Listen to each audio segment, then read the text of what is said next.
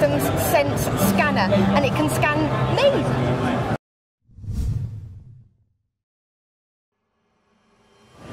So this scanner can scan people or objects up to 3 metres cubed or down to as small as 20 centimetres.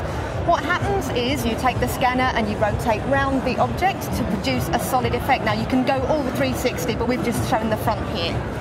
Once you've got your image, you can then edit it as you wish, so you can trim it, you can fill bits in. So as you can see here, we're just smoothing out some of the imperfections in my skin.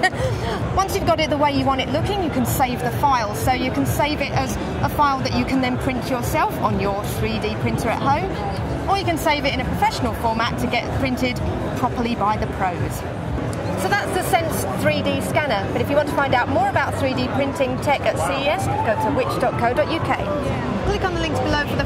of the 3D Systems Cube, our advice guide on what is a 3D printer, and more from CES 2014.